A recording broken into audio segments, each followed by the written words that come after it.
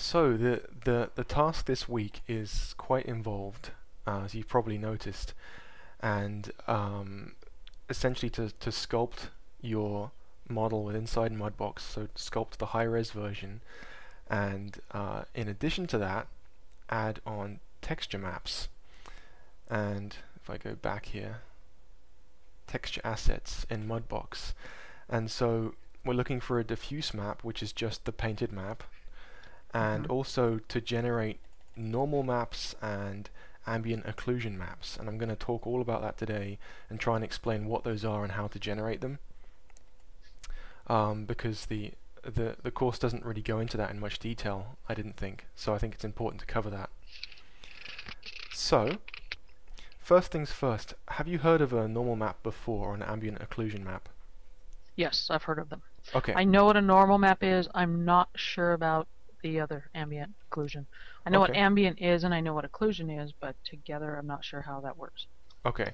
Well, what I'll probably do is just go through some images to explain uh, the three types of maps I wanted to talk about just for the purpose of the recording, so anyone Okay. watching this can can get all three of them. So to begin with, I'm going to talk about a displacement map, which is not required for this course, but it's important to know where the technology stems from. So if you take a look at this really nice low-res model here of, of the head, can uh, can you see this okay?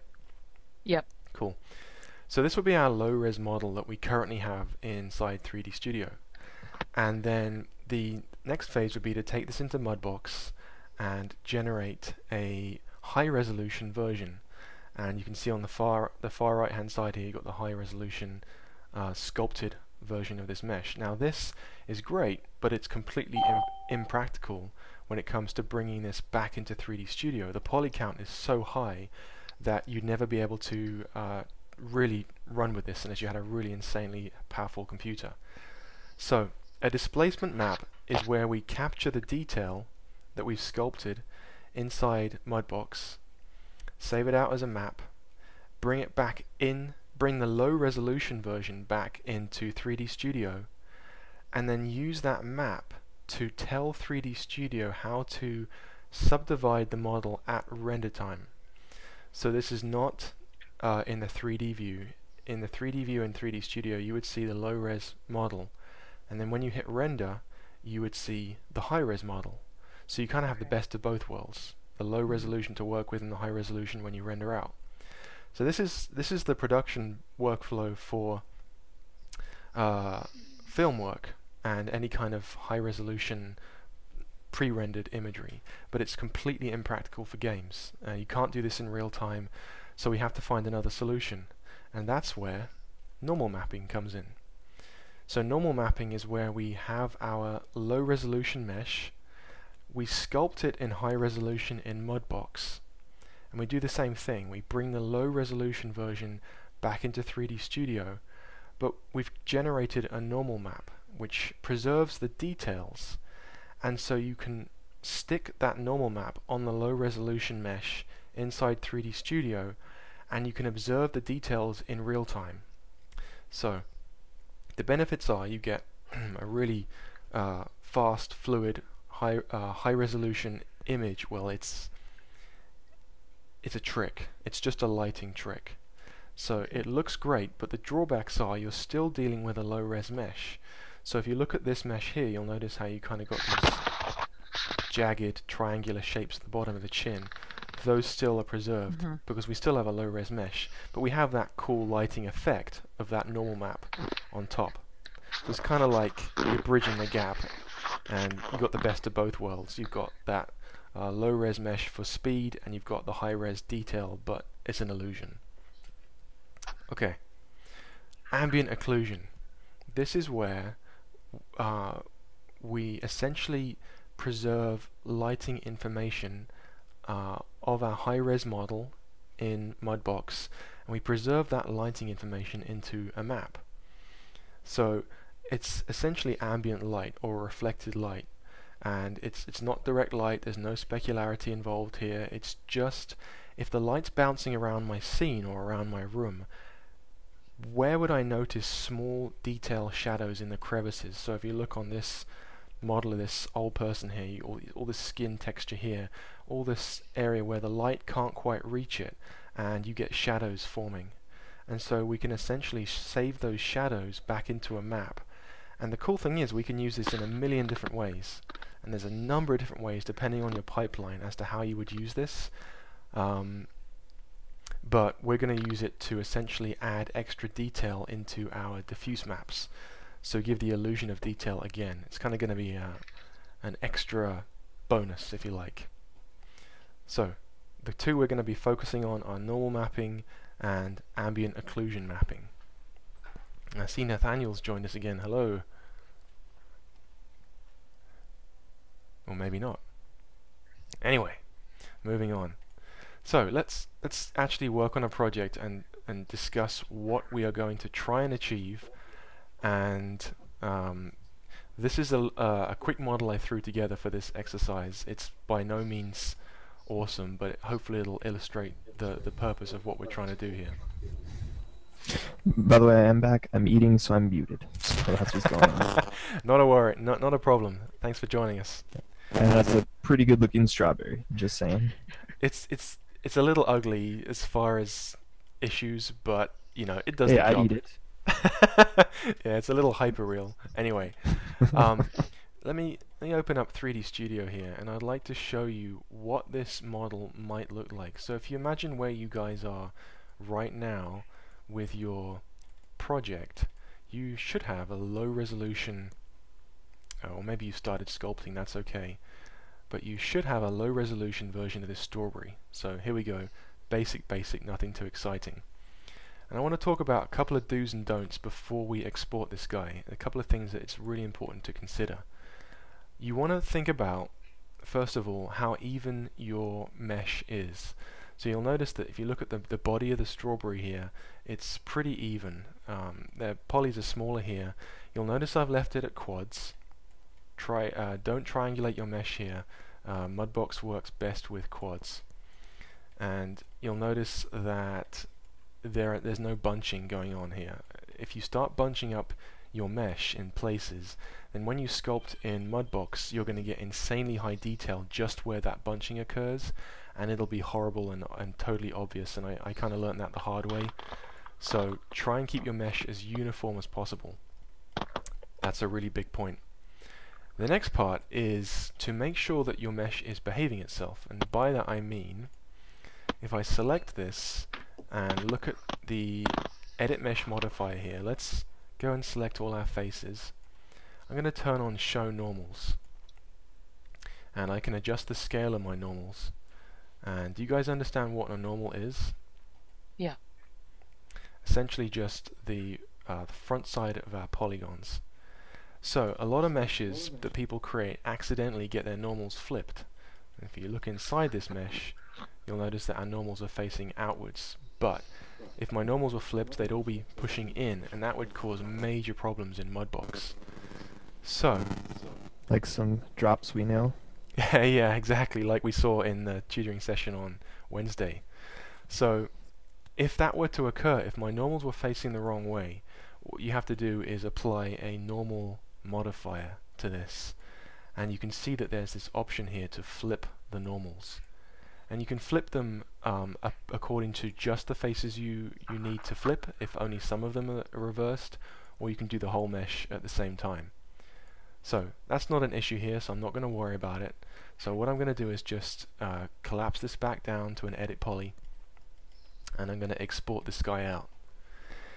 Now you will notice if you're using a newer version of uh, 3D Studio that there are features uh, we have send to and we can send to Mudbox. I'm not gonna lie, I, I hate these features. They they give the illusion of being really easy, but at the same time they kind of do whatever they want to do, and they don't really they don't really always uh, adhere to best practices. So sometimes they'll treat maps differently than you'd expect. You'll see these options in Mudbox to export back to 3D Studio or Maya, and again, you never really know what you're going to get. You don't know how it's going to handle your maps, how it's going to put them back together again. And so what I'm going to show you is the traditional way to do this by hand, to try and show you exactly what you should expect when exporting and importing. So, with that said, I'm going to select everything here and I'm going to go to export. And I'm just going to export the whole scene actually. And I'm going to decide where I'm going to export this guy to. We'll do live session strawberry example. And you have a choice of formats here. The, the new kid on the block here is FBX and it's an awesome format but for simplicity and knowing that you're going to get exactly what you expect I am going to use an OBJ. It's a more of a, a simplistic format and I'm just going to call this straw strawberry and you can typically leave these at the defaults just click export and done and that's it you've exported it to a non-native format that'll open in pretty much any package out there. Another thing I should have mentioned was to be very cautious of your UVs. Before you export this, it's paramount that you have your UVs set up. And like I said, this was a rushed example, so my UVs are really ugly, but they at least they're laid out. So try and avoid as many seams as I have here, but this will work, this will do. But just so you know, I have UV'd this. Alright, let's jump into So what happens if you do have a lot of seams? Well, that's a really good question, and I was talking to Nathaniel about this the other day in our tutoring session. Um, there's two ways to texture. There's the old school way, where you take your UV map into Photoshop and you paint. And what you'll notice there is, let me load 3D Studio back up again. If I open these up, if you imagine if I'm trying to paint this in 2D using Photoshop, the biggest problem is, alright, you're painting, painting, painting, painting. What happens when I get to this seam? Well, I've got to try and paint this so that it's seamless from this point here to the point where it joins up here on this part of the mesh. And it's really tricky to paint seamless textures just using Photoshop. And what you'll tend to find is that there's misalignment that goes on. So you think that the little um, seed that I might paint here would perfectly align here. But what you'll typically notice is when you look at your model in 3D, there's this mismatch and it doesn't join seamlessly. That's using the old school method. Typically these days we use Mudbox to paint textures, um, or most people do, and Mudbox takes care of that problem for you. Because you paint in 3D space, it translates your 3D painting directly to the 2D UV space. And so it takes care of the seam matching, and it'll match those seams pretty closely, making it much easier for you to, to texture this. So the general rule of thumb is you want to use as fewer seams as possible because you never know when you're going to have to manually edit this texture. Um, but many people these days get lazy and just let Mudbox take care of the UVs, which is really kind of bad practice because you, when you're applying for a job or if you're, you're trying to show that you're really good at this stuff, you need to be able to show that you can UV correctly and that you can produce neat UVs that anyone can read and understand. So that's kind of the two schools of thought there. Um, okay, if I were to do a new scene here, I want to get this part over with fairly quickly because it's not the bulk of what I want this to be, but I'm going to import and you can just open up the OBJ that you exported and you'll get uh, the low res mesh. I can hit W to look at how that mesh sits on the strawberry and the good the general rule of thumb is if you're going to make large edits here you should make your large edits moving the mesh around uh, on the low res mesh before you start subdividing it so if I were to grab my my grab tool for example you know I want to make some big edits here to make my brush bigger you know I can kind of pull this mesh around very easily making these, these, these large edits. You know, I can kind of pull the, the base down here as I see fit. Once you're happy with those larger edits, just gradually start to subdivide the mesh. And I'm going to go up quite high here because I'd like to show you some detail. Uh, let's go to one more. And you're going to have to decide if you're bringing in multiple meshes or single meshes or a single mesh. That's totally up to you and how your model is designed. In this case I've got two meshes. So if I go to my object list you can see I've got the body of the strawberry and also the stem. And so if I need to subdivide the stem, I have to grab that, Shift D, and I can subdivide that down to add as much detail as I want.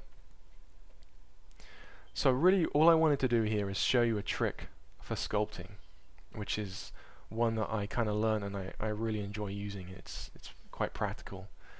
First things first, let's let's just focus on the strawberry for this, and I'm going to use my select object tool to deselect it.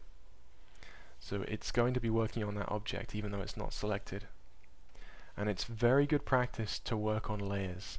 Never work on your original mesh because you never know when you're going to want to undo something that you decide later on you didn't want to do. So let's just call this, you know, detail. And you can add as many layers as you want and you can adjust the opacity uh, as I showed in previous videos. But what I recommend you do for this exercise really is you make use of uh, stencils and stamps. And in this case I'm going to show you uh, stencils. So let me navigate to, let's see, navigate to this project folder which is on the network so I'm hoping it's going to work.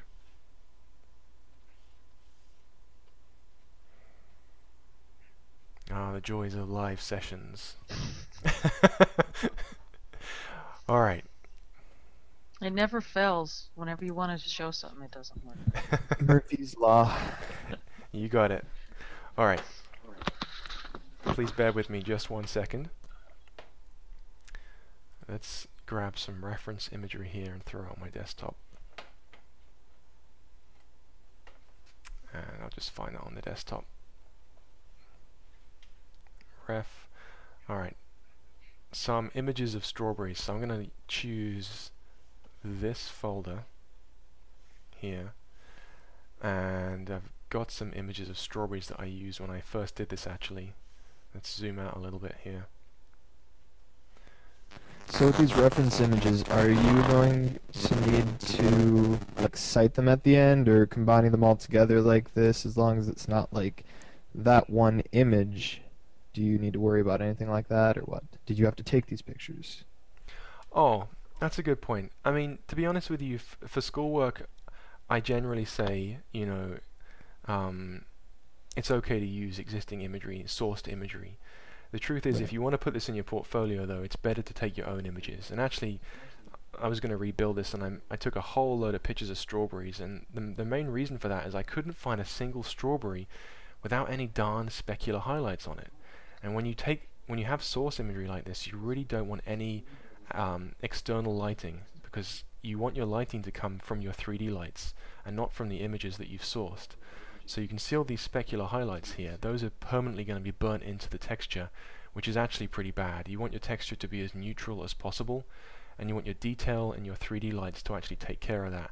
So really there's there's a lot of advantages to taking your own images, not least of which when you're in an interview you can say, hey, I took these images, I did this all myself, you know. Um, that's kind of how I would Yeah, I would that approach makes that. sense. So I'm gonna I'm gonna grab this just for the sake of using this, and I'm going to use this option up here, which is Set Stencil. Click on Set Stencil. I'm going to go to my 3D view, and you can see that stencil is overlaid here. I'm going to turn off my wireframe.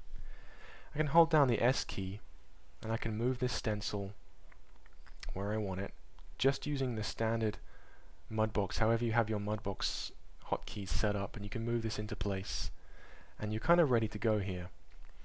Now first things first, a word of caution. The technique I'm going to show you requires that you're going to always be able to come back to the same camera position. So it's really good to make use of the new feature in Mudbox which is camera bookmarks. I'm actually going to save my current camera position. I'm going to call this you know front face or something like that. So if I later accidentally move my camera like this, I can just click on front face and it snaps back to exactly where it was. And with stencils that's really important because you don't want to move it and have to try and realign everything again.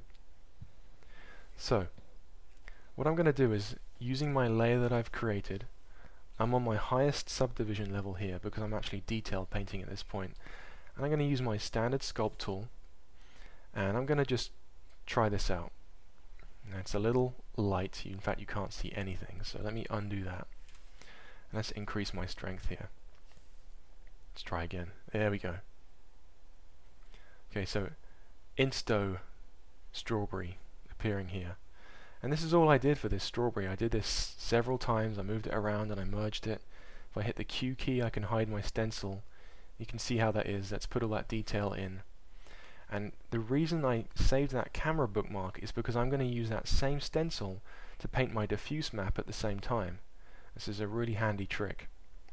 So, I'm going to go to my paint layers here. I'm going to add a new paint layer. And I'm just going to call this strawberry diff. And I'm going to create a diffuse layer. Now, this is just for you to work on. It's the high-res version, so if you can do it, it's okay to go up to a 4K texture, but for most systems a 2K texture is best. I'll use a PNG, you could also use a TIFF, and make sure that we're working on our diffuse channel here. And I'm just going to click OK.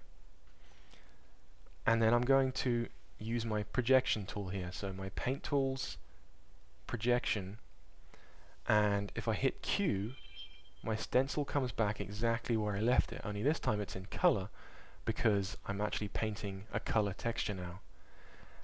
And just to prove this, I'm going to use my camera bookmark to revert back to exactly where I was. And now, with the magic of television, when I paint this, my diffuse map lines up perfectly with that texture map that I with that uh, sculpting that I did earlier.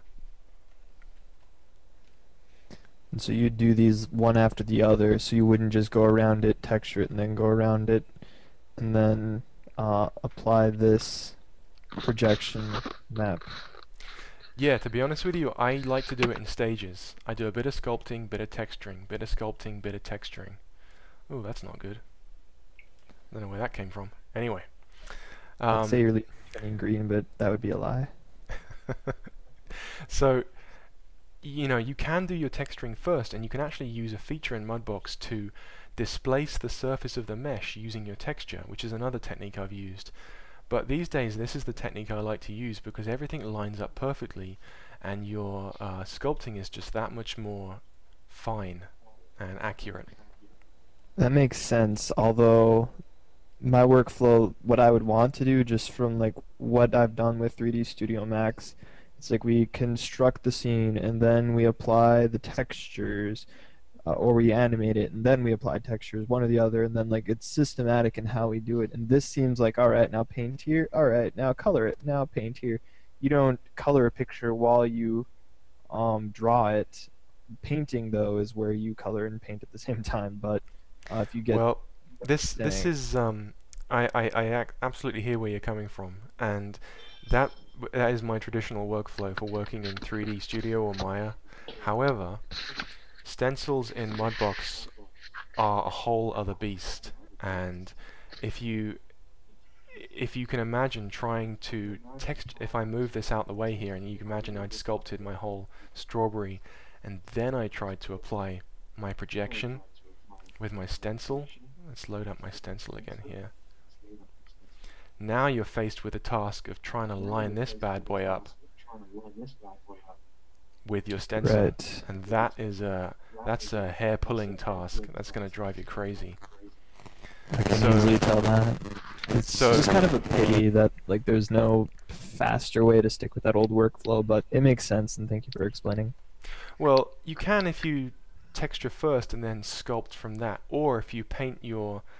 Uh, it often depends on what it is you're actually doing. Like if I'm doing, you know, um, I don't know, tiles or something, then I might sculpt them and then go in and hand paint them or apply a different kind of texture that isn't related to the texture I used to sculpt them. So it, it kind of depends on what you're trying to do. But if the two are, are intertwined, which they often are, this is the technique I would recommend. Um, okay.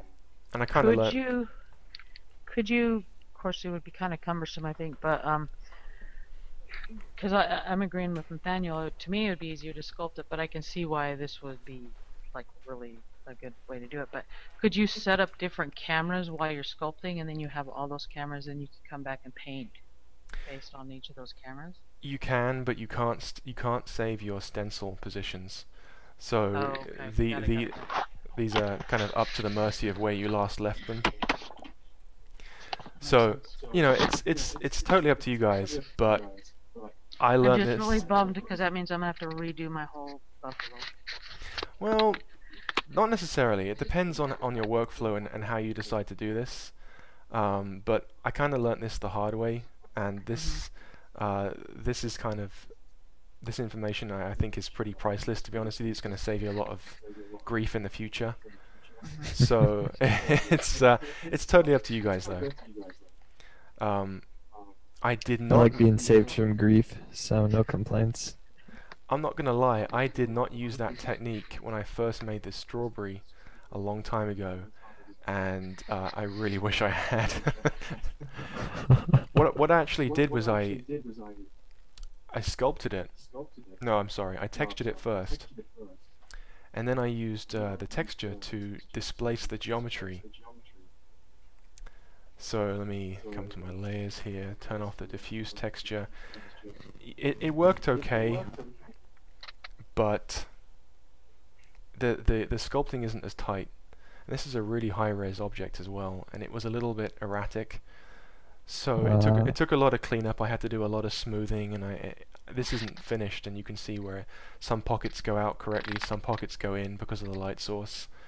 Um, so this is a different workflow, but again, it's not the traditional sculpt then texture workflow. so let me uh, let me get this back to where we were. So let's say you finished your model, and we're now ready to export this guy out to use inside 3D Studio. I want to try and get to this point next. Uh, let me show my objects. The first thing we have to do, and if stuff goes blue like that, it means that Mudbox is loading the texture. So sometimes you think you've frozen your object, but it just they actually used the same color to show you that Mudbox is in its loading phase. Um, if it stays blue, it means that you've run out of graphics card memory and it can't handle it, and sometimes you just have to reload the scene. Um, so if we're ready to export this, we have to do two things in this case, three things. First things first, we have to export the diffuse map. Now, if you have created your paint layers in multiple layers, you are going to have to compress these down into a single layer. And you can do that quite easily by right clicking and if you have multiple layers you can do merge visible. And it sends those down to a single layer. And once you've done that you can just export it to a PSD and that'll save that diffuse texture. However because I just did a single layer I actually have all of these textures already created in my Mudbox working folder here and you can see this TIFF file which is loading in Photoshop isn't that speedy let me load this up in preview. Uh, you've got CS6. I'm still back on CS4. uh, you you know, as a student, you actually have you should have received an email to upgrade to CS6 by now. So you actually I have. wish. I went through a whole hairball with uh, a couple classes ago, arguing with people that are like, "Hey, you don't need to use this. You don't need CS6." I'm like, "But, but I thought we get discounts." So it, ugh, it was just a pain, and so I don't know if I want to deal with it or anything. But I've looked through my email and I haven't gotten any notification on CS6. Okay, if you haven't, you you I you just should. got mine like it was after the term started. It was like three weeks after the term started when I got mine. Yeah, that that's about the time they made the switch. And if if you haven't, Nathaniel, I highly recommend you contact the support center because that's some pricey software that you can get for free. So um, Yeah. I I highly recommend it. And what I would do if I were you is actually install CS6 alongside CS4 and run them side by side for a few months. And then when you're ready, you can make the full switch over to CS6. Um, Okay. I like so- the user interface of CS6 more for what it's worth, but anyway, continue. So here's my uh, texture. When you're when you're creating game textures, the truth is you you should be saving these down to JPEGs or whichever format your game engine is going to be working with, and you have to think about the resolution of these textures. I'm not too worried about in this class because it's more about the workflow than the final output. But just know that if you were actually creating this for a game, the chances are you'd have to resize this down, depending on the game engine, maybe to 1024. If it's a, a non-important character, maybe 512. But for the purpose of this exercise, I'm I'm going to stick at 2K, so I can show you the details. I'm also going to leave it as a TIFF file, but uh, that would not be used in a game environment because it's very uh, large and inefficient. So I've got those textures there exported. Next I have to ex export my... I'm going to mute you Nathaniel if you don't mind. Or actually would you mind muting yourself? Just because I'm getting... Ah, there we go. Thank you very much. I was getting a lot of feedback there. Um, so we have to export this as a normal map. We want to capture this detail from the high-res mesh. If I page up here, you can see I'm at you know 1.2 million polys, which is insane for 3D Studio. Absolutely insane. We want to capture this detail and we want to export the low-res mesh. So what I have to do here is go to my uh, well first of all I have to select the object that I'm dealing with so I'm going to do my strawberry first and I'm going to go to maps extract texture maps and I'm going to do a new operation. And you'll notice I've done this a million times here before. So I'm going to do new operation. And you can save the operation that you do. So if you get it wrong or if you need to tweak it or try again another time you can reuse this where it's already been set up and it'll overwrite your existing file. So let's do strawberry normal map norm. And I'm going to select normal map from the options here and I'm going to go add selected to add my strawberry body that is selected. And you'll notice it adds it at level 0 that's that insanely low res version that I exported from 3D Studio. And then here we have the source model for the high resolution version.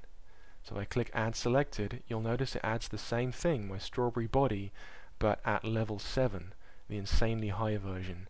What it does is it looks at the differences between the low resolution version and the high resolution version and it saves those differences into a normal map here. So what I'll do is leave those set up. Be very cautious to note the levels that you decide to use here. You want to make sure that you export the level that you actually generated the map at, so in this case level 0. The search distance is kind of uh, kind of a beast to itself. I generally click on best guess and 9 times out of 10 that works just great for me and I usually leave these at the default. Then we're going, we're going to define our output texture file. So click on the browse button and navigate to my project folder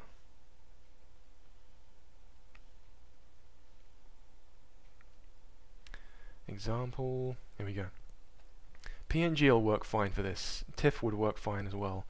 And what I'll do is I will save this as strawberry norm. And click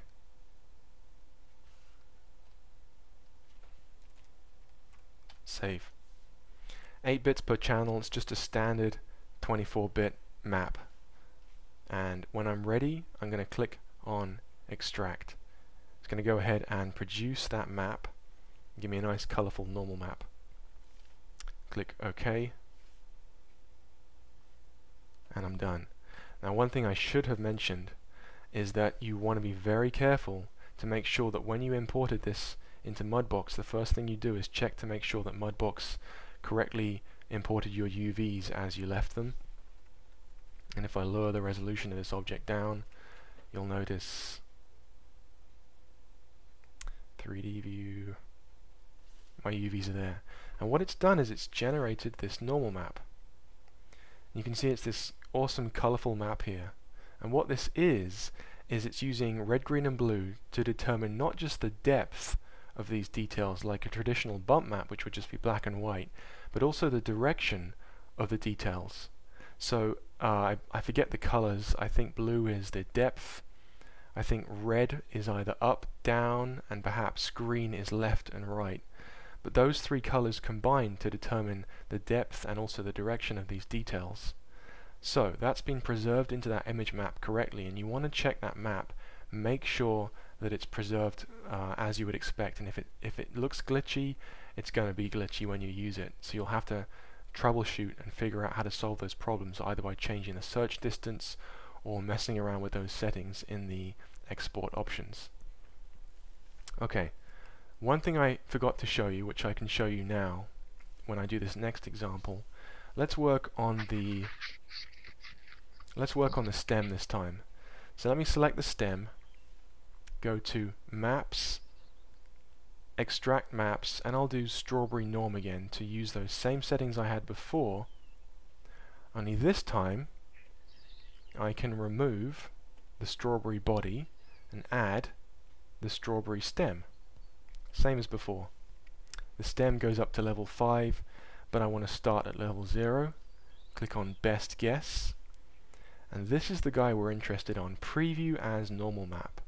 What happened when I first did this is I left that on and it actually placed a bump map in my paint textures here which is really a kind of a pain. I hate that feature. So I actually prefer to deselect this option here but I'm going to go ahead and extract that texture map. Click OK. You'll notice this time it didn't bring in that bump map. Check my UVs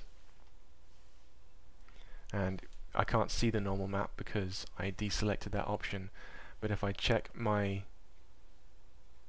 folder here. Oh as you can see I'm not very clever. I overwrote my existing file. We'll call that stem. Okay let's come back to Mudbox. Select the strawberry body. Run that same procedure again. Normal map, remove,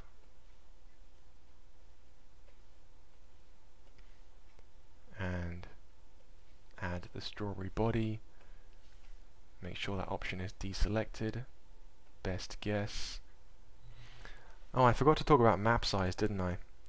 This depends on, on your system, but also, you know, again, what would the game engine that you're exporting this to expect? you know, 2K map is going to be probably way too high for a game character, but just for this example I'm going to leave it at 2K and make sure that your output file is correct and extract. So kind of a roundabout way of showing it because I made a mistake there, but hopefully you get the idea. Just be very careful that you don't overwrite your existing files. And you are recording this, right? So you can go back and watch it. Yep, it's it's recording as I as I do this. Okay. And let's see, I probably refresh. There we go. So we have on my other screen here the body normal map and the stem normal map. Each one preserving all that detail from the low res to the high res mesh. So that's our normal maps done. Excellent. Alright, back in Mudbox. Next let's talk about ambient occlusion. Ambient occlusion then, as I said, is a way of capturing ambient light to mimic shadow areas on your object, and you can use those in many different ways. Uh, I can give you an idea of what ambient occlusion looks like because um, let me deselect this. Mudbox actually has what are known as viewport filters and it simulates ambient occlusion using your graphics card. And if I deselect, let's come back up to the high res mesh here.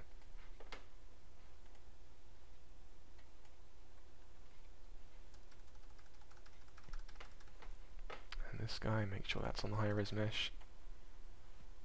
With ambient occlusion turned on, you can actually see that additional details here are being, uh, being brought into this viewport display.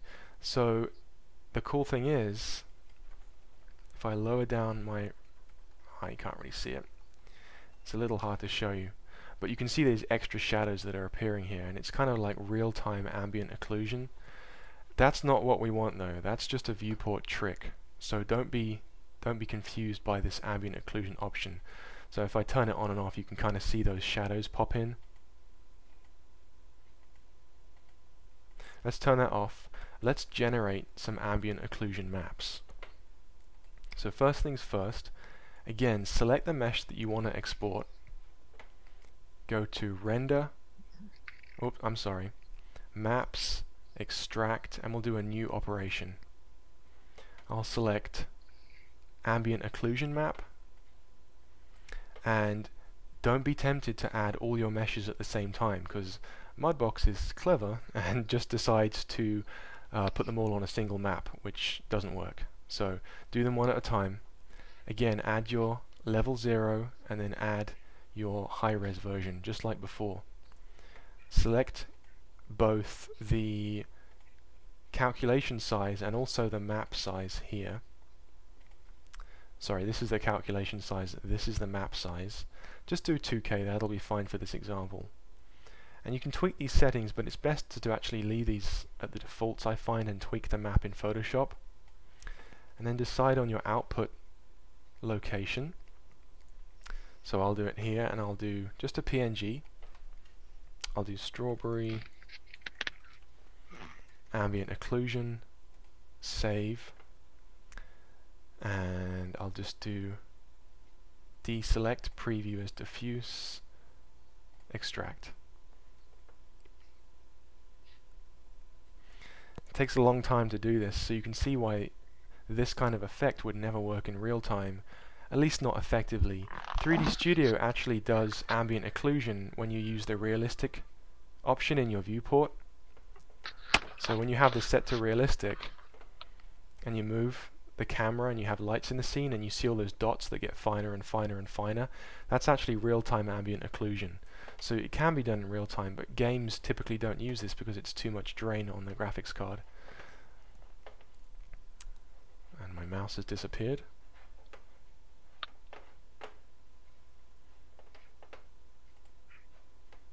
Extracting. You can see why this would never work in real time to this level of detail because it's taking, what, a few seconds to export just one frame. So when you're trying to run a game at 60 frames per second, that would never work.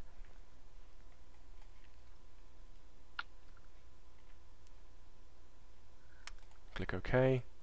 Let's take a look at what Mudbox has actually generated for us.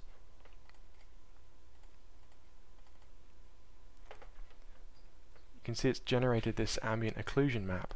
It's tried to save that shadow detail into my texture file here. I'll do the same thing quickly for the stem. Render uh, maps, extract, We'll just do a new operation, ambient occlusion, add selected, add selected, oh, I just want the stem. Again, I'll do a 2K map just because I'd like to demonstrate this detail here. Select my output file, stem AO, save it as a PNG, and deselect that option. And that'll go ahead and do the same thing for the stem. So tweaking those settings there decides on how fine the detail is or how uh, spread the shadows are and also how much contrast you have. But a lot of that can be tweaked inside Photoshop.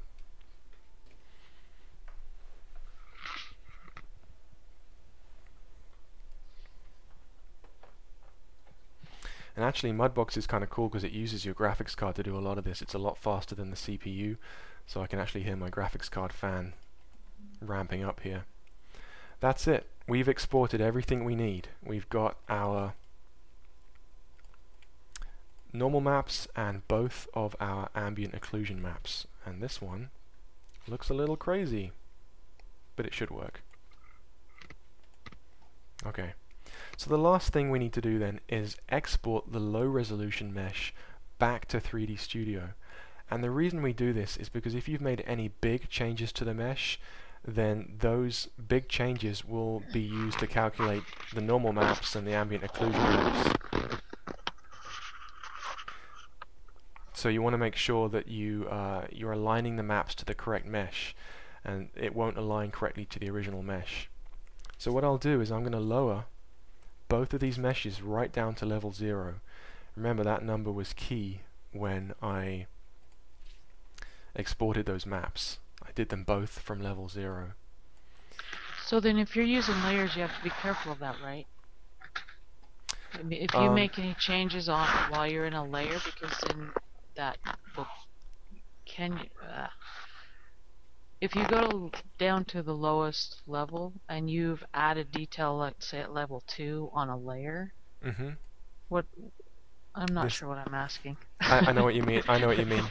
In fact, you can see it here. You see how I've got four layers here, and these say seven, seven, seven. So, like you, I think what you're saying is that yeah, these were created at level seven. So, wouldn't they be lost here?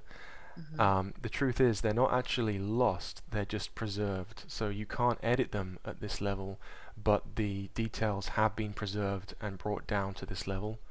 Okay. So the changes you've made here will be minute because it's such high resolution, but Mhm. nevertheless they will be reflected in the low resolution mesh. Okay. So I'll just select my objects and make sure they're both at the lowest level. File, export selection, and yay, folder hierarchy. Have to find everything again. okay, example, here we go. And so what I typically, you know, I try and name these accordingly, you know, strawberry mud export. And again, try not to use an FBX here unless you really are prepared for the results because it's going to bring all my maps in with that FBX file because the FBX are that much more intelligent. So what I would actually recommend is to simplify things for yourself and just use an OBJ. Save scene. So I do have a question. You, when you originally exported from 3ds Max to go into Mudbox, you kept it as quads. Mhm. But when we were when uh, we were working on our projects, you wanted us, didn't you want us to make them in tris? Yeah, and I don't think that's going to be too much of a problem, to be honest with you. I think Mudbox, I think Mudbox simply represents the tris as quads as best it can. Because Um, my my my Buffalo, I turned it all to tris, and I brought it into Mudbox, and it seemed to be fine. Yeah, I, th- I honestly I don't think it'll be a problem. Um, Um, someone's tea is done. I I think that's my daughter's. Hold on a second. And she must be mad. She got it. uh, it's just got to wait for my hearing to come back. Okay, Shell shock. so first things first. Back the funny 3D thing is, is I could barely hear it with my earphones on. so let's let's open up. Be sure to open up. Oh, I'm sorry. New scene. Don't save changes. Be sure to import the strawberry that I exported. Make sure I don't accidentally bring the original back in. And default settings work just fine typically. And yay, there we go. It's all brought back in again. So the last step, which is not necessary this week. This week all I want to see are screen captures of your model inside Mudbox and also those maps that you've exported. That's all I need this week. But next week you're going to be tasked with the challenge of compiling everything back inside 3D Studio. And So that gives me another week to rebuild my Buffalo. well, I really, I really don't want you to feel like you have to rebuild it. I think you'll, to be honest with you, I think that it won't be, it won't be as noticeable if you, as you think, if you simply. Well, you know how perfectionists are. oh yeah, I know. Trust me, I, I, I suffer from that myself. Um, so yeah, I would, I would encourage it, but it's not a must. That's what I would say. Okay. Um, so we got to set this up next week uh, to display these maps, and so I can show you really how this works. So what I'm going to do is bring up my material editor, and oh look at that! I've got all the maps left over from when I first did this. So let's start from scratch, and I'm going to show you how you can compile these together uh, to get an idea of how this works. So I'm going to create a standard material. And this is for next week, right? Yeah, don't worry it- about Oh, okay. okay. yeah, don't don't worry about it this week. But I, I want to make sure that I at least show you guys how to do this. Okay. Um, I'm going to create a standard material, and I'll just call this, you know, strawberry. And I'm going to apply my diffuse map, just as a bitmap. And okay, let's see, game character creation, week eight, and I'm going to find those maps. Again, typically for a game these should be JPEGs, but for this example I'm just using those TIFFs that I created. Alright.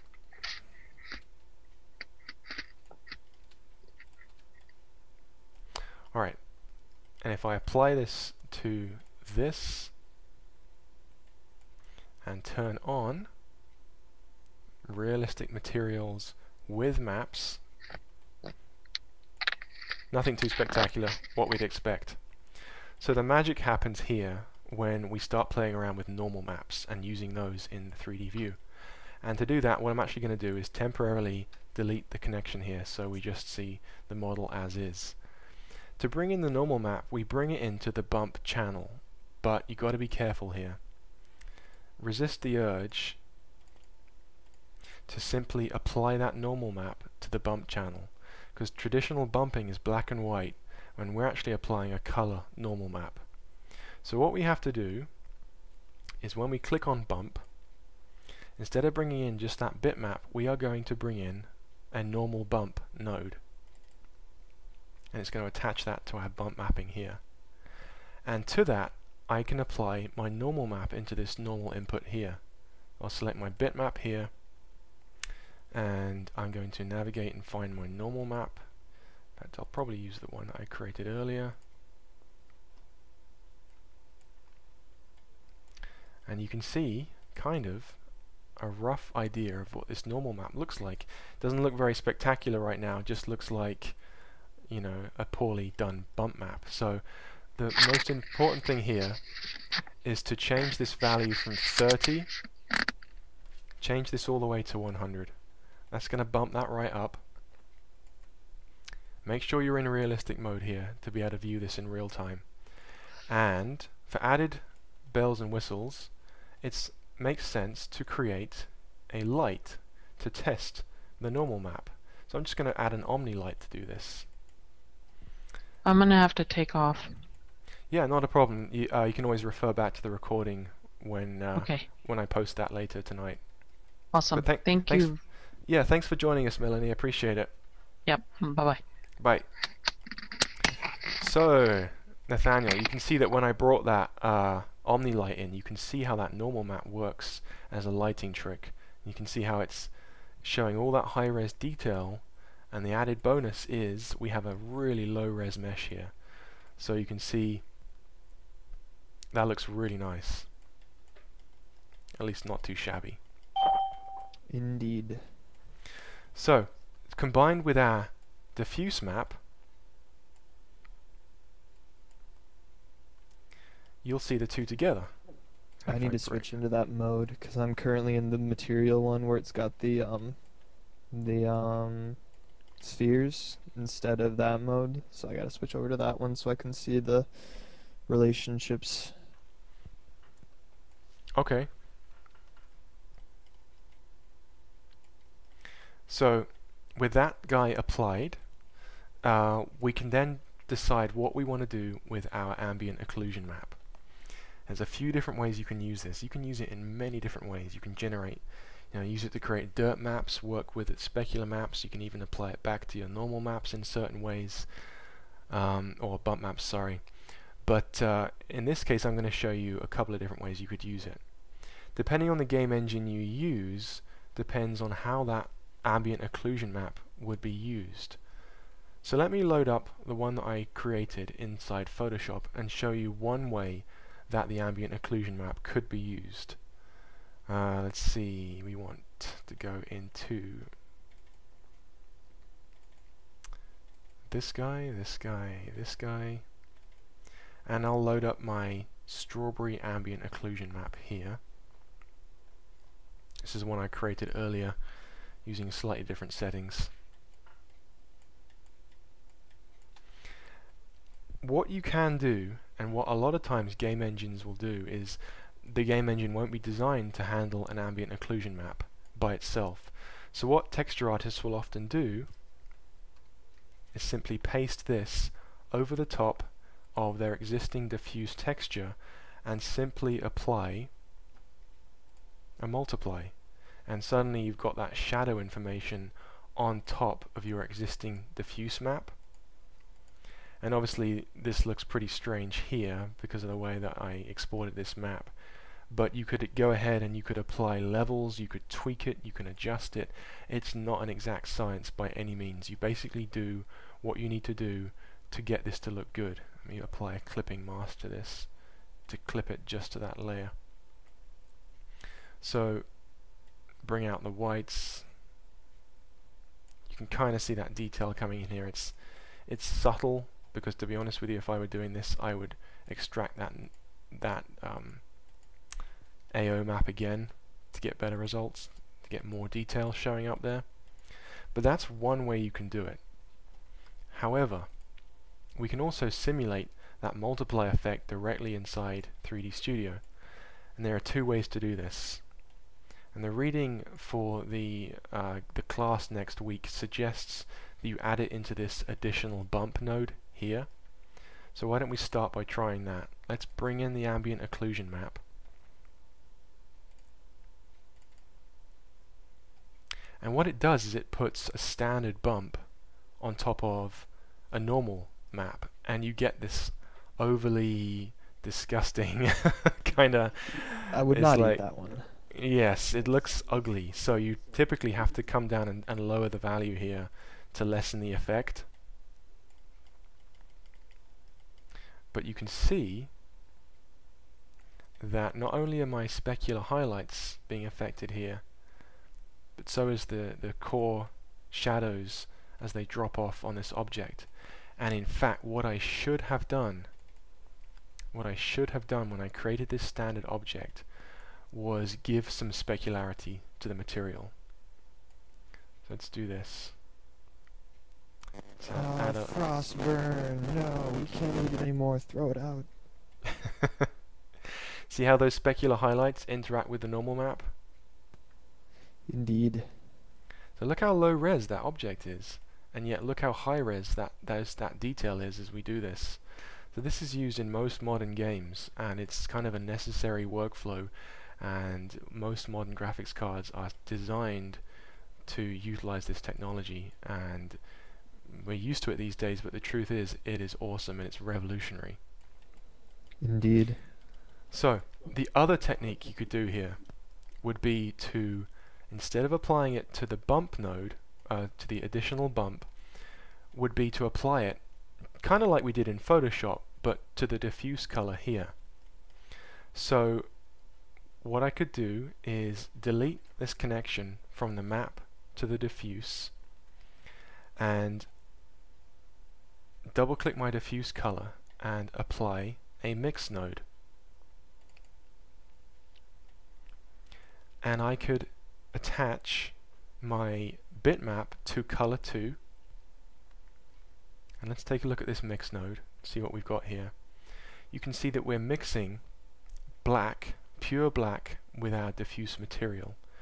And what we do to decide how much black and where to apply the black is we use this mix amount control here. And essentially we can tie our ambient occlusion map here into our mix amount. Wait for this to load up. Ta-da! What that gives you it's pretty cool is those shadows really carefully applied and you can utilize the curve editor just like I did with the levels in Photoshop you can utilize the curve editor here to change you know how intense that black is at the upper and lower so you can see how I can increase that shadow so it looks disgusting, or I can bring it back to soften the effect, and that's what the game engine would do. So that would typically be handled by the, the game engine if it would utilize an external ambient occlusion map. But that's the workflow. In fact, once you've done that, you can delete it from that additional bump control. You know, you could use them both together. It's it's totally up to you how you build the shader. And standard map mix the diffuse with the bitmap for the diffuse color, with the ambient occlusion for the diffuse color, and apply a normal bump node with that normal map up going in. And with the magic of television, if I show you the one I created earlier, I did exactly the same thing for the stem at the top. Nothing different whatsoever.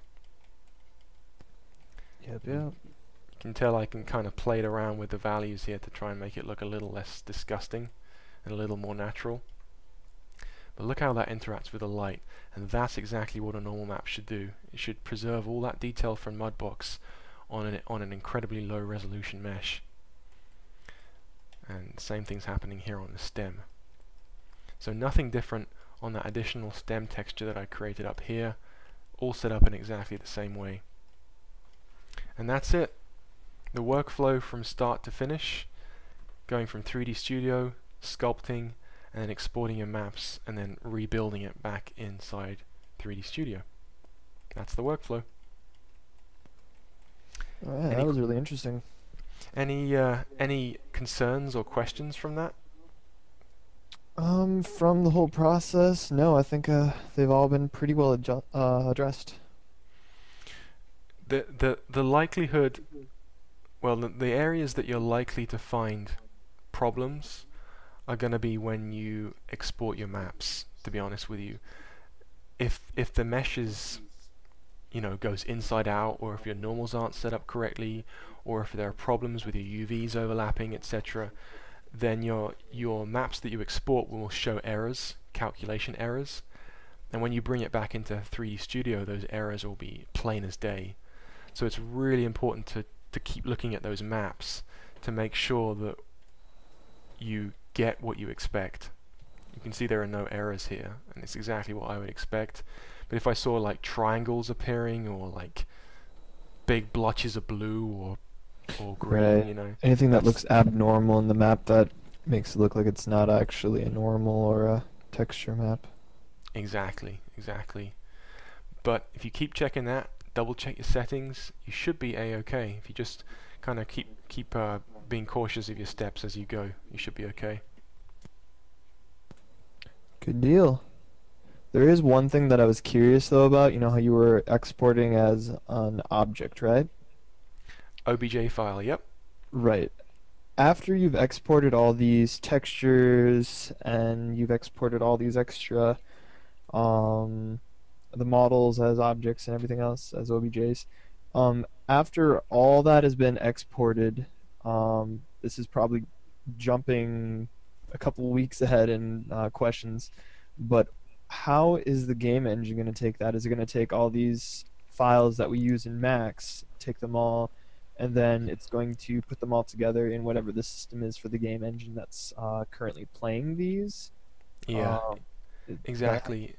It basically it depends on both the platform you're designing for and also the um, the the type of engine that you're using. So, you know, you have all these different game engines for PC, and you have um, different platforms like Xbox and PS3, and it depends on how powerful the system is, what the game engine can handle. You know, some game engines won't be able to handle ambient occlusion maps, and other ones will. Um, right. so, what typically happens is you, inside 3D Studio, if I remember correctly, you'll have a plugin which will be proprietary for your game engine, and typically it'll take like an OBJ file and it'll export it into a format that's designed specifically for that game engine, and it'll export it uh, maybe with uh, probably not with any of these materials applied, but the game engine itself will have its own way of handling texture files. So the game engine will take the the uh, ambient occlusion map, it'll take the normal map, it'll take the diffuse map, maybe even a specular map if if it can support it. It'll plug it all together and inside the propri- proprietary game tools, like perhaps the Unity engine or something like that, you'd be able to tweak the specularity, the effectiveness of the ambient occlusion, the normal mapping. You'd probably do that in a third-party tool, and that's how it would look in the game. So you you wouldn't really you wouldn't typically test it in 3D Studio that much. You'd you'd really test it in in the tools designed for the game engine Okay. because those are going to be exactly what you see is what you get. You know that's what it's going to look like when you load it up on the PS3 or or on your PC or whatever. Okay, and so for each of these platforms, uh, this then goes into programmers who have figured all this much out. So that's why it's us as gra- uh, 3D graphic designers. We just export all these things by working in 3D Studio Max. We make the characters, the animations, etc., and then we just export them, and then the um, uh, programmers take care of the rest of it. Is that exactly correct summary? exactly that that's that's why they have the um the the game and simulation program which essentially deals with the back end and how you work with producing tools to handle the information that the artists give you the files the texture files the 3d files so two very very related job descriptions but two very different job descriptions right? good question All right. Well, that's what was um, running around in my little hamster wheel mind uh, for most of this. So I'm glad I got that answer. That's what I've been wondering about for a while. Yeah, it's it's a little confusing, and you'll often find you'll find that tutorials to utilize tutorials to generate ambient occlusion maps are abundant. They're everywhere, but tutorials to actually use the ambient occlusion map maps back in 3D Studio are kind of few and far between, and that's because um, you typically either bake it in Photoshop, like I showed you, or you handle it in a game engine, a proprietary tool. Um, So it's it's it's maybe a less common practice, and these days we typically calculate ambient occlusion at render time using ray tracing. Okay. If you're doing a, you know, a pre-rendered scene. Fair enough. But yeah, that's probably everything I was going to show you today. Unless you had any other questions. Nope, that is it. Um, sometime I'd like to know about all those materials up there. That like, do you have like a quick 10 second thing that you can say about each one from advanced lighting all the way down to X reference material? A little bit Uh, much. Pr- probably not not quickly. Um, really, these are different. These all have very specific purposes. I could point out a few off the top of my head. I'm just dying um, to know why that one is red and why that other one is blue and why the other one is invisible or gray. That's that's really is what driving me crazy right now. These are just default previews of what that material type looks like when you first apply it.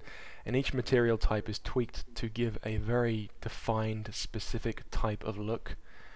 So an ink and paint shader, for example, will give you a kind of a cartoony effect, like if you had the Iron Giant, for example, that movie, uh, where they had the 3D robot, but they had it rendered in such a way that it looked like it had been 2D painted.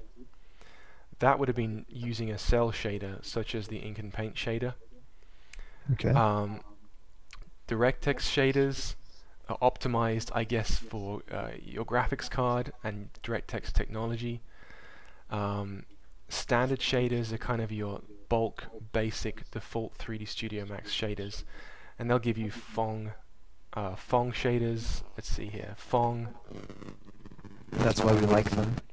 yeah, Blinn, Phong, Strauss, essentially how you handle the highlights and uh, and how you can plug in different maps, etc. And you get ray trace materials that utilize the ray tracing features of your rendering engine, and Ray trace was really nice, wasn't it? it's awesome. Lighting, It- yeah. Yeah, that that's what gives you those sharp shadows and also reflections, refractions, and all that good stuff. You wouldn't be able to get that with a standard material, so you'd have to use a more advanced ray trace material for that. And then you Okay. also have, um, uh, if I have, uh, let's see, ray trace, come down here. If I turned on my my render settings for mental ray, I'd also get a mental ray shader here, which was optimized for use with the mental ray uh, rendering engine. So um, those shaders are optimized for speed and also effectiveness when you're using mental ray to render your scenes. hmm So it all depends on very specific purposes, and some of these I'm not too sure what they do. Some of them are very simple, like double-sided. It allows you to put a texture on both the normal side of your poly and also the reverse side. Uh, Um, shell, shellac, these are ones I haven't really used too much, but again, they're very specific effects. Uh, there's a very, very defined purpose for using these different types of materials. okay, and if you ever needed to know which one to use, like it would be pretty like blatant saying we need to do this, and you'd be like, oh, this is what this material would be used for. Yeah, exactly. I mean, y- you might want to do a really cool lighting effect where, you know, depending on how you look at the object, you kind of get that, you know, kind of quirky, let's let's say a hologrammatic effect. You could achieve that by using the normals on the surface of your objects, and then however the normals are facing in comparison to the camera, you get a different color, and that might have, you know, a very specific material to do that. Um, I could tell you in Maya, but it's been a while since I've done it in 3D Studio. right, right. So, but yeah, they all have a very specific purpose. All right. And that's another thing that I've been dying to know since I saw them, because I first get in 3D Studio Max, and then I open up the materials, and I'm like, oh great, which one do I choose? Yeah, most of the, nine times out of ten, standard or ray trace are going to be everything you want. All right. Well, that is uh, has exhausted my questions for the day. All right. Well, I appreciate you turning up, and thank you for asking questions as well. Yep, no problem. Thank you for putting up with the questions. Let me know if you have any others. Just send me an email, and we can always go through in a, in a live session or something. Will do, and I'm sure I'll be reviewing this video again, and I'll have that wonderful "ugh, I'm hearing my voice" kind of sound. So, All right. Well, uh, good luck with your project, and uh, have a good evening, won't you? yep, you too. Thank you very much for your time. Yeah. Thanks a lot.